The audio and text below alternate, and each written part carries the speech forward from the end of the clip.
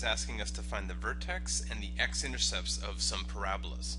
I have two examples here on the front page. We'll do one one way and one a distinct way, and then on the problem you do yourself, you can choose which way you would like to do it, which way you prefer, and I'll demonstrate both so we can see it both ways. So on the left-hand example, with the expression y equals negative x squared plus 2x minus 1, I'm going to do a little bit of simplification and uh, you know strategic manipulation here. I'm going to factor first of all out the negative sign so that I have an x squared minus 2x plus 1 and then I can recognize that x squared minus 2x plus 1 is a perfect square trinomial namely x minus 1 squared. And therefore in the simplified version I can now see that the vertex since there's nothing being added on to the end and I have x minus 1 here I can notice that I will notice that the vertex is going to be x minus 1 means it got shifted to the right one. And then with no additional adding or anything on the end that means we would have a 0 so the vertex would be located at 1 comma 0 now interestingly 1 comma 0 is actually also the x-intercept of course because it hits the x-axis at 1 comma 0 so that would also be the answer to the x-intercept. 1 comma 0 uh, the graph if you're curious then would be shifted right 1 and it would be upside down so that's why the x-intercept and the vertex are identical. Okay, on the other hand, let's do this in another way on the right. On the right, you might notice that a equals negative 1, b equals negative 8, and c equals negative 16.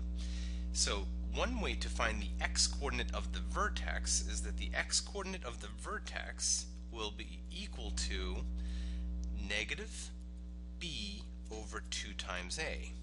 So in this instance, it'll be negative, negative 8 all over 2 times negative 1.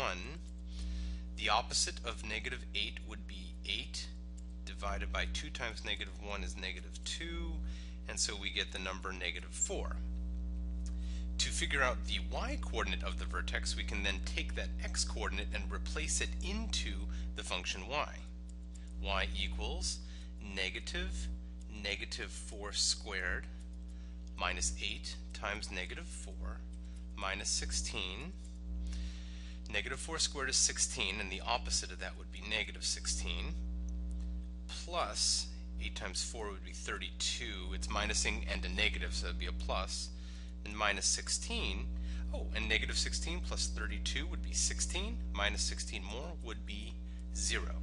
And therefore here the vertex would be located at x equals negative 4, y equals 0.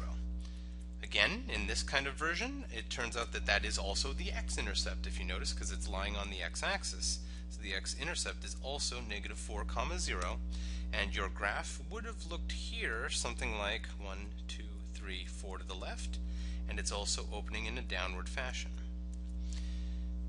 Now, why don't you pause the video and see if you can do this one on your own. Uh, you can use whichever method you would like. And assuming you give it a good shot here, let's do it together. First version would be interpret this as y equals x plus 7 quantity squared. And then the vertex would be located at negative 7 because of the horizontal shift left 7 and 0 because there is no vertical shift, again this would also be the x-intercept because this hits the x-axis, that's negative 7, 0. And if you interpreted or uh, attempted it the other way, we would be looking at this as saying A is 1, B is 14, C is 49, and calculating x in the x uh, coordinate of the vertex to be at negative b over 2 times a which is negative 14 over 2 times 1, which is negative 14 divided by 2, negative 7. Notice that's the same answer that we got over here. And then interpret or uh, plugging in negative 7 as an x-coordinate into the function would yield y equals negative 7 squared plus 14 times negative 7 plus 49, which would be, let's see, negative 7 squared is 49. 14 times negative 7 would result with subtracting 98 and then adding on a 49. So that would give us the y coordinate of 0. So in both cases, we end up getting a vertex of negative 7, 0 and an x-intercept of negative 7, 0. And that would mean that your graph this time would go through negative 7, 0, and this one would actually be upward facing instead of downward.